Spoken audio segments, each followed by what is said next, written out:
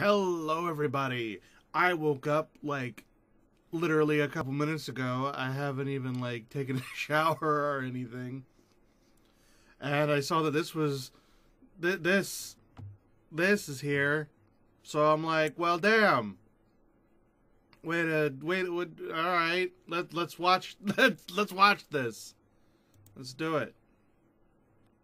Now the cards show me a tinker, so clever, but kind of a stinker. In a storm that's a raging, sits the last one I'm paging, a truly unusual thinker.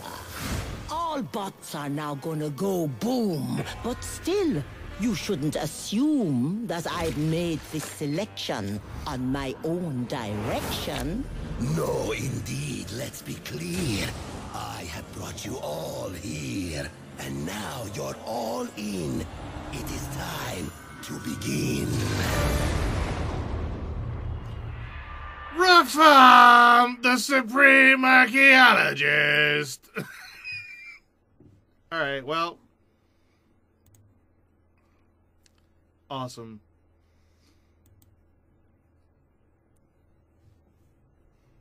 Her rhymes are still kind of meh, but his rhyme was pretty good. and uh yeah, so Dr. Boom and Rafaam.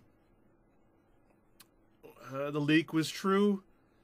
And so we. What I'm wondering though is that he said it's time to begin. But I'm betting it's not out yet. I'm betting it's not out right now. No, it's probably going to be a couple weeks. It's like, it's time to begin in a couple of weeks.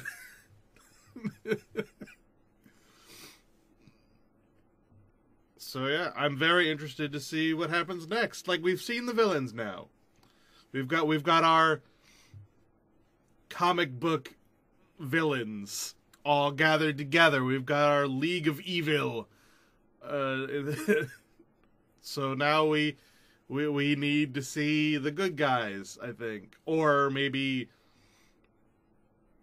that's what this first bit is about. Because we're not getting an ex- we're not getting an adventure for the first bit you know? That's not how the year the the the hearthstone years work. The first year the first quarter is us getting the uh the standard resituated. We get the old stuff relegated to to uh, to to wild and we just have the new stuff for a couple of months and then we get the second quarter, which has the actual proper expansion.